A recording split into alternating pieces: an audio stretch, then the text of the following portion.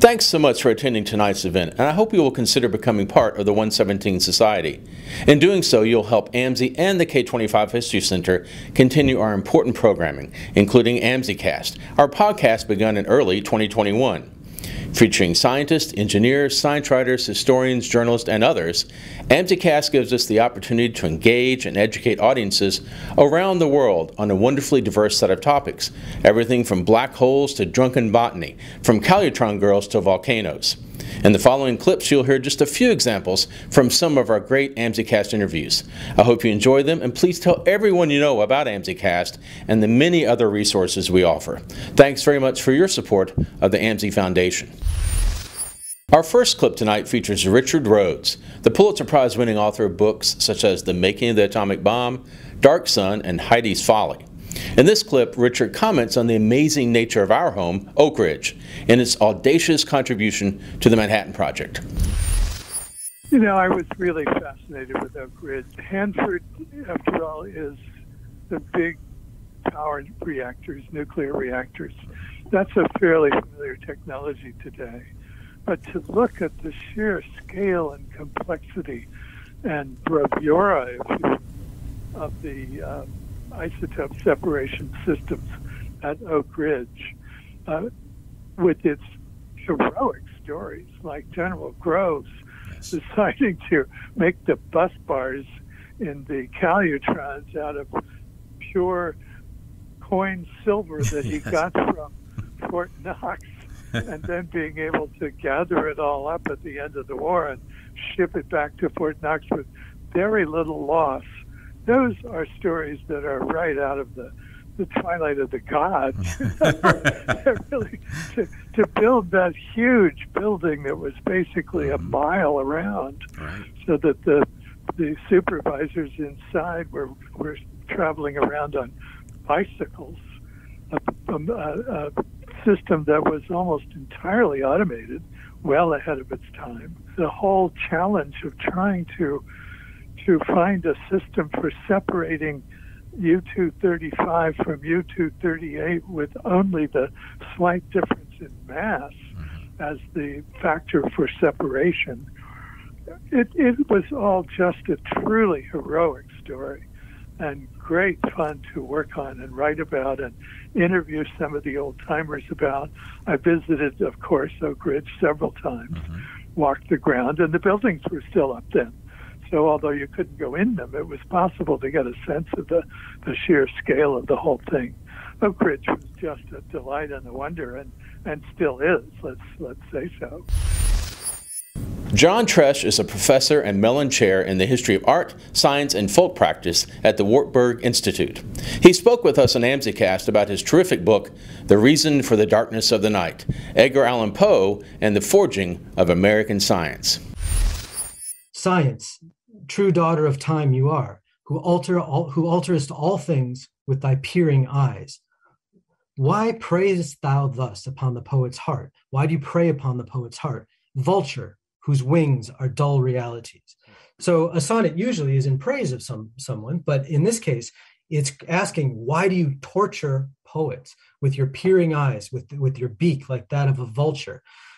And then the next line is really the heart of the poem. How should he love thee? How deem thee wise? How should a poet love science? How deem thee wise? Who would not leave him in his wandering to seek for treasure in the jeweled skies?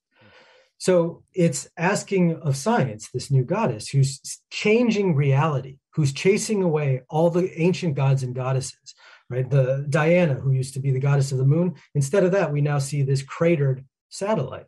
Right? Instead of instead of the Hamadryads who populated the forest, now we just see timber, or we see what a botanist sees.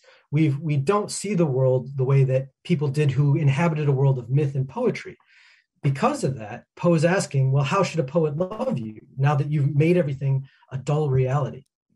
And a lot of people have read this poem as really a standard romantic critique of science, right? In this is the age of romanticism. Poe enters that that movement late and with a, a very skeptical uh, uh, attitude, but he's very influenced by Coleridge, by Wordsworth, by Byron. These are all his heroes when he's young. And so people just assume the criticism that a lot of romantic poets give to science is one that Poe is following. Poetry doesn't have a place in a world, or it has to be somehow far outside of a world that's dominated by science and dominated by industry and technology. And that's the way it's usually read. But I read this poem in a rather different way because the, starting with that first question, how should a poet love thee? How deem thee wise? The rest of the poem is a series of questions about how how should you uh, approach or how should you address science if you are committed to poetry, like Poe is, if you're committed to fiction and the imagination, without just setting it aside, without just ignoring it, without just attacking it. How can you love it? How can you understand its particular way of knowing the world appreciate its form of knowledge and at the same time not be completely overwhelmed by it not be completely destroyed or replaced by it? And i see that question. How should a poet love science? How should he deem it wise? Running throughout his entire life and everything he writes he's he's looking for new ways for the artist, for the poet, for the imaginative person to make sense of, to confront, to work with, or to make new kinds of combinations between imagination and fact, between poetry and, and science, between the, the, dr- the dream and that which is real, the, and that which is experienced, between spirit and matter as well. So in his work, over and over, there's a confrontation between these aspects of the world or these aspects of the mind that are usually seen as totally polarized imagination and reason, spirit and matter.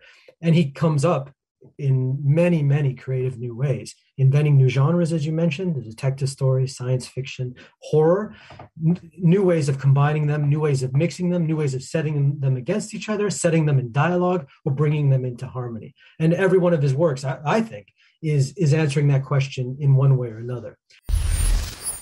In 2019, an international team, led in part by Heino Falke, took the first ever image of a black hole. Dr. Falke joined us to talk about his book, Light in the Darkness Black Holes, the Universe, and Us. In this clip, he discussed how our knowledge of black holes has evolved and how the team came together across the globe to take that historic image.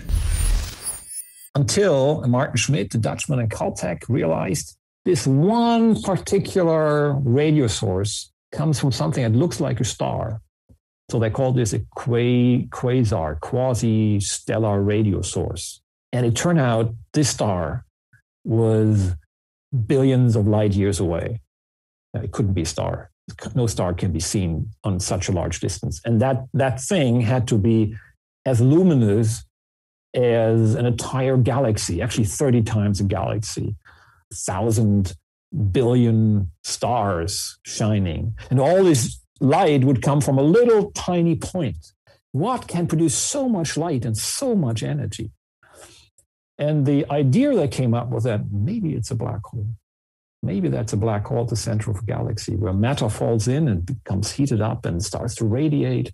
And so that's why in the in the 60s, 70s, people started to think in earnest about black holes. And there was some evidence there of stellar uh, black holes that, you know, some X-ray emission from, from certain stellar sources could also be black holes. Um, so the idea was around until, you know, the, the, the 90s. And then if you want to think about, you know, I want to see one of these things, it has to be big. You know, you need a big telescope to see them, and you need a big source. And I was working on um, on supermassive black holes. So these are these are the ones in the centers of galaxies where you know many small black holes collapsed into a big one. And if you want to look at you know which are the on the sky, which one would appear the brightest, then it's essentially this big supermassive black hole in the center of our Milky Way, and it's this potential supermassive black hole candidate in the galaxy M87. Why M87? M87 is a monster galaxy. It's 55 million light years away. Uh, it's 2,000 times further away than um, than our own center of the Milky Way. But it's you know the black hole mass that people estimated also in the middle of the 90s using the Hubble Space Telescope said this could be six billion times the mass of the sun concentrated in the center of the galaxy. In the center of our own Milky Way, we had a black hole maybe of four million times the mass of the sun. But both are really massive. And they are the closest of the big, heavy guys in our universe. So that's where you want to look. AMSE greatly appreciates our friends at Oak Ridge National Laboratory, and we're proud to help tell their story. In this next clip, you'll hear part of our interview with the lab director, Dr. Thomas Zacharia, as he speaks about ORNL as the lab of the future. So the lab of the future is an interesting concept. It, it, so obviously, one the reimagining was undertaken in order to make sure that we have the leadership and the organizational structure that allows us to pursue uh, the sort of world-changing uh, aspiration of organization which, as I said, is in our DNA to have won the World War and, and change the world as in, based on a number of innovations and technologies that have come from this laboratory. But Lab of the Future also has a, a another important concept and an opportunity from my point of view, which is increasingly economic security uh, of our country in the in a globally connected world uh, is, in my opinion, national security, mm-hmm. and and it's something that national laboratories are uniquely suited to support our nation. And so, if you just step back and look at where all the innovation jobs that have been created in in the last 10 to 15 years, it's been majority of those innovation jobs have been created in around 40 counties in this country. Put that in perspective.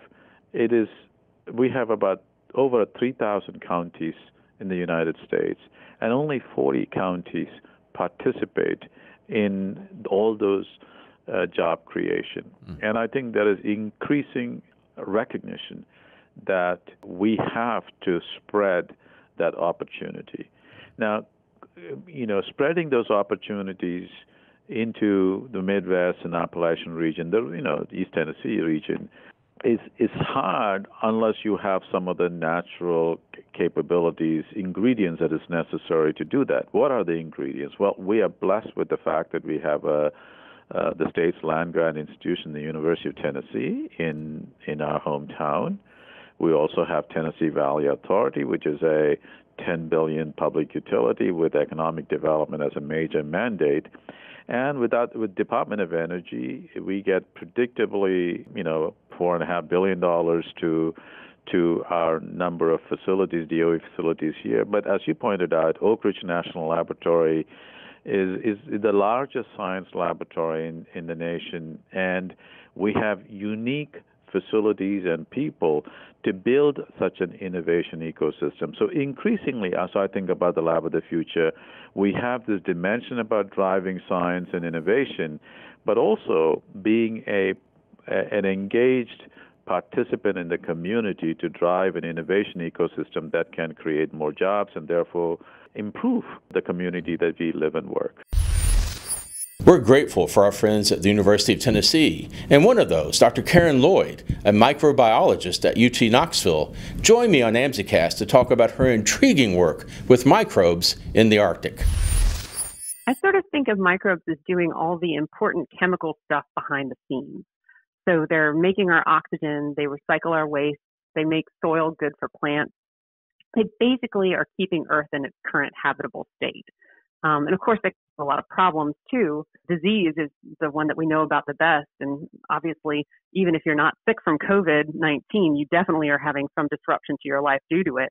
And some of them will contribute to greenhouse gases. So they can be either some of them might be helpful for um, mitigating climate change, and others of them are cheering it along and making it worse.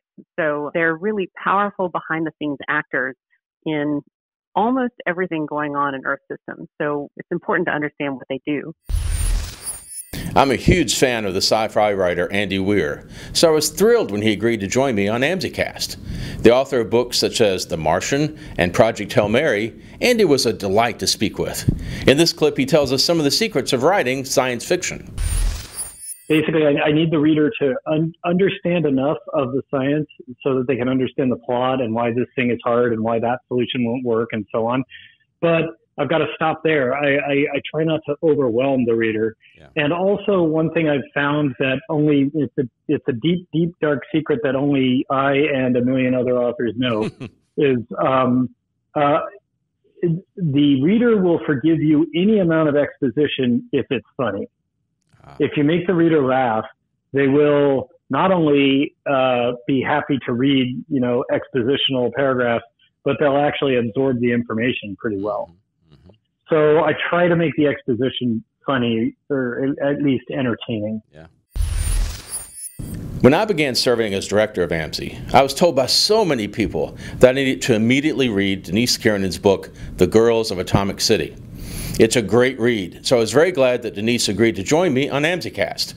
In this clip, she talks about what motivated the amazing women who were so key to the success of the Manhattan Project. I didn't want women who all worked in the same facility or had the same job.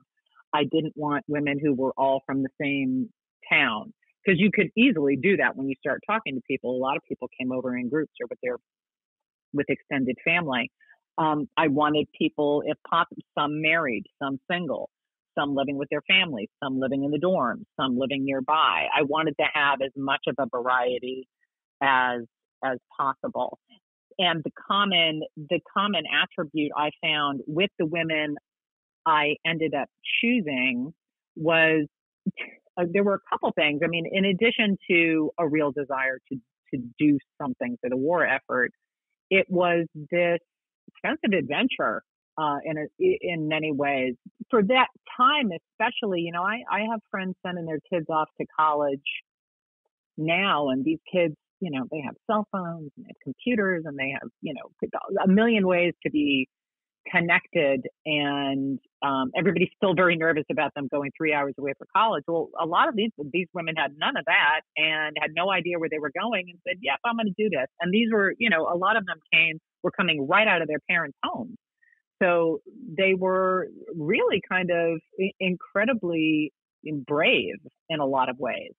And I think that is definitely one of the one of the commonalities that that these women shared in addition to being extremely, um, you know, being very hardworking and having a, a, a sense of responsibility about what it was that they were doing, which is different than bragging about what you're doing.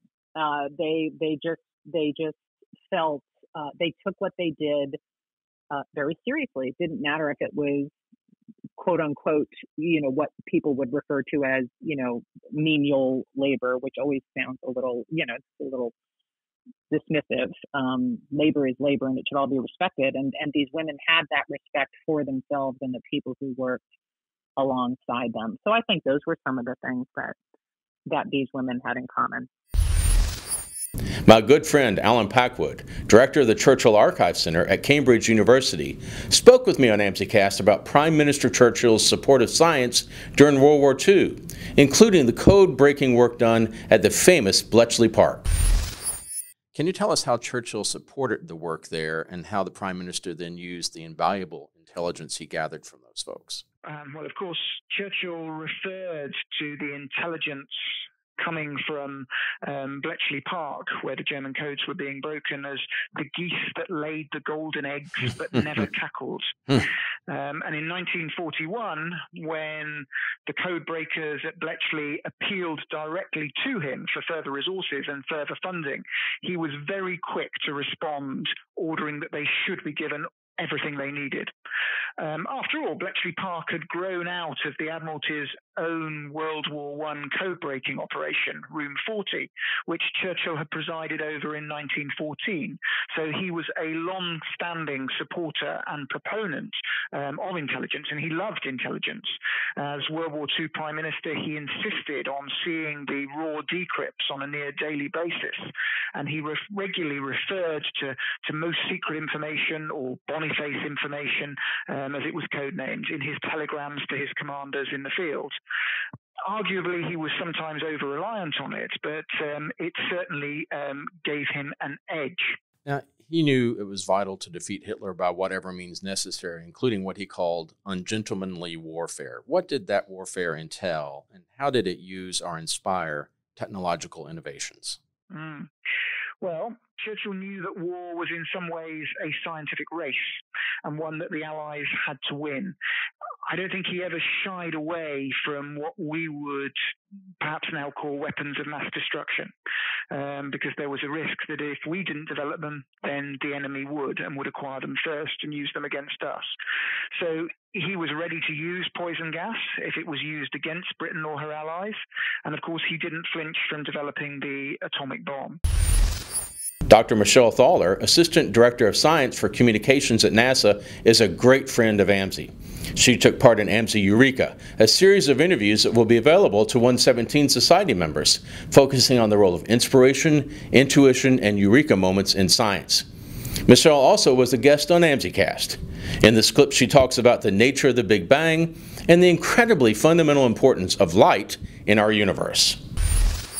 I'm wondering if there is more than one universe. This idea that mm-hmm. you know what, what, we think of as the universe could be part of something even bigger called the multiverse. Right. We don't have any evidence of that yet, but that's something that we're working on. Mm-hmm. There, there, there was an idea that was very popular about 50 years ago that eventually the universe would, would, would slow down and stop expanding. Mm-hmm. Uh, all of the gravity between the galaxies. And, and then you had the addition of all this extra matter, dark matter, which has gravity. Uh, they figured, well, hey, maybe all the galaxies will slow down eventually and then things will start reversing and, and maybe everything will start crashing back together again. And maybe we'll end up in that hot, dense state again. And maybe that sets off another big bang. And, you know, this was called the, uh, the oscillating universe. The, the unfortunate thing is that, um, about, about 10 years ago, uh, we made a, a very good measurement. Three different teams did. In fact, two of my friends from grad school got the Nobel Prize, which mm. always kind of makes you feel like you're not doing anything with your life. but, um, you know, it's, uh, they, they actually measured how, how much the universe was, was slowing down. And they got the opposite result mm-hmm. that the universe is speeding up faster and faster all the time. As far as we can measure it right now, and, I mean, things may change as we get better understandings in the future. Um, as far as we can measure it now, the universe really will, will not only expand forever, but it'll expand faster and faster and faster all the time. Amazing. And uh, that does not bode well for right. coming back together. Yeah. But, but but there's an idea that in fact maybe uh, maybe the Big Bang never stops. It just keeps going on in different dimensions, in different directions. Oh, and you know, our universe is one bubble of a froth of bubbles that are constantly being pushed off from the you know the hyperspace, you know, the the, the, the, the dimensional space we're not really aware of. So uh, that's conjecture. You know, we, we know that our observable universe is, is expanding and actually getting faster all the time. So, uh, another thing that is amazing to think about and kind of hard to wrap your arms around is light and the speed of light. And I know I watched a terrific video of you talking about that, and you state in that that light does not experience space or time. So, can you tell us what that meant and why the speed of light is so fundamental in understanding the universe? Oh boy, you know this is one of these things that you know you wish you had a whole afternoon to talk to people about. right. um, it's um, you know, we can do multiple episodes, Michelle. Uh, for one thing, okay, for one thing, it was one of those results nobody was looking for. Mm-hmm. So if you go back uh, into the late 1800s, um, people were devising better and better ways to measure the speed of light. Um, I mean, even Galileo, 400 years ago, tried to measure the speed of light by uh, opening lanterns on, on, on, distant hills and trying to, uh, to perceive a time difference. But what he didn't realize, light is so fast, you know, 186,000 miles per second, as we said, that um, there just wasn't any way for him at that time to detect it. But in the late 1800s, they were beginning to get good enough at detecting the speed of light. And, and so they decided to do a grand experiment actually in California at Mount Wilson, where you know, the Earth goes around the sun really quickly. I mean, we're actually orbiting the sun at about 67,000 miles an hour. And so the idea is, you know, with our very, very uh, sensitive equipment, we're going to measure the speed of light in the direction the Earth is going, you know, around the sun, and then in the direction away from the Earth, where, where the Earth is going. And there should be a difference of, you know, more than 120, you know, thousand miles because in, in one direction we're going with the sun, with, with the Earth's rotation. So mm-hmm. basically we're adding that, you know, 67,000 miles an hour. And, uh, you know, so we're almost sort of catching up to the light that we shine in that direction. If we shine a light in that direction, we're already going with it, 67,000 miles an hour. And then in the opposite direction, you know, we, we shine light away, and now we're racing away from it at 67,000 miles an hour. So, you know, we should be able to detect the difference in the speed of light. And they, they did this over and over again, better and better sensitivities. And, and I mean, the, the, the darn result is that light always travels at the same speed hmm. to an observer. You cannot see it traveling anything other than the speed of light. This is, this is a classic question. If you were going 90% speed of light and you shone a flashlight ahead of you and you shone a flashlight behind you, hmm. how fast would you measure the light coming out of those flashlights?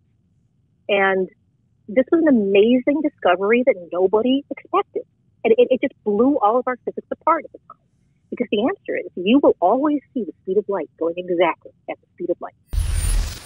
John Riggs, author of High Tension FDR's Battle to Power America, spoke with us about a topic near and dear to us here in Tennessee President Roosevelt, the creation of the Tennessee Valley Authority, and the TVA's huge impact not just on the availability of energy, but on economic development as well. I would say the winner was the American people. Uh, there wasn't a, total victory by either side, um, but the people benefited because rates were reduced dramatically, electricity rates. Roosevelt had said he wanted these federal dams to provide a yardstick against which you could measure private rates, and for that reason, or the additional cheap hydropower, rates came down fairly dramatically uh, during the 1930s, and they had been they had risen pretty dramatically in the 1920s when the holding companies were pretty much in charge. And the public-private utility system that resulted and that exists to this day fueled our country's dramatic economic growth for the rest of the century. Public power grew dramatically with the building of the federal dams, it went from 6% of utility generation in 1932 to I think 19% at the end of the war. But private power grew as well and, and still remains by far the larger power producer. Um, Roosevelt succeeded in destroying the holding companies, so he won that battle. But the, an economic historian, Harold Underwood Faulkner, said no company died that seemed to have the slightest reason for living.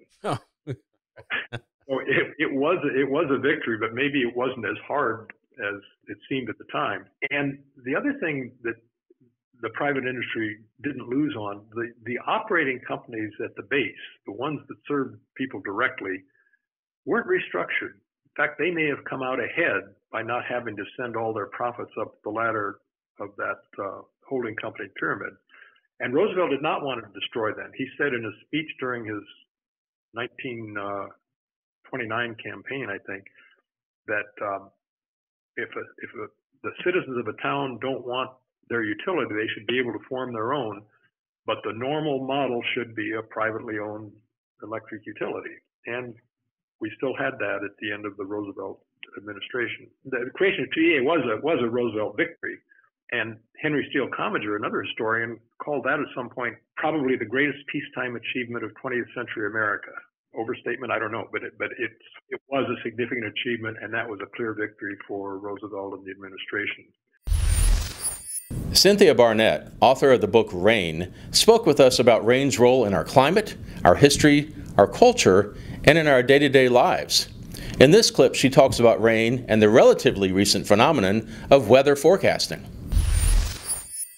in Victorian times, the, the, the people in England were very skeptical of weather forecasting and they saw it like some kind of a voodoo and they were really unhappy about it. And Americans just loved it. We absolutely loved weather forecasting from the time of Thomas Jefferson, who in this book I refer to as our founding forecaster.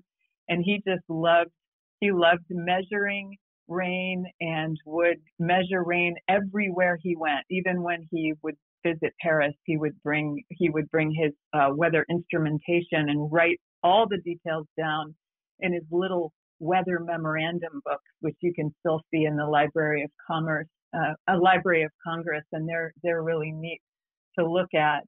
But here, uh, it was really the telegraph in the United States that made scientific forecasting tangible for for Americans. So then and now, the best way to know how the weather is going to behave wherever you are is to ask its most recent host, right? So in, in 1847, three years after uh, Morse electrically transmitted his famous message, What hath God wrought from Washington to Baltimore over the telegraph? America's first government meteorologist, James Pollard Espy, who was his nickname was the Storm King, and he pitched he pitched the idea of a national weather network connected by telegraph lines. And he sold this idea to Joseph Henry, who was the director of the brand new Smithsonian Institution. And he convinced his board that telegraphing weather from the far west of the United States to the southern reaches of the country would, and I'll, I'll quote him here, furnish a ready means of warning the more northern and eastern observers to be on the watch for the first appearance of an advancing storm. So by 1860, there were 500 stations across the United States telegraphing their weather reports to Washington.